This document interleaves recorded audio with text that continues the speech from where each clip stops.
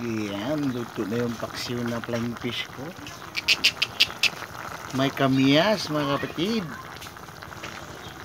Kain ba kayo nito, mga kapatid? Hmm? Oh? Oh? Ito masarap mga kapatid. Mm, yummy, super yummy.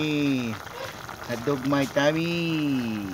Flying fish paksiw with kamyas. Alright. Alright. Wow.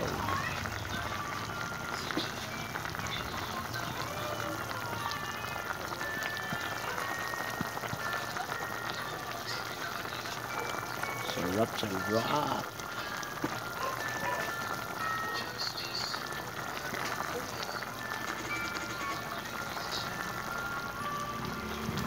Hanggang dito na lang. Bye-bye.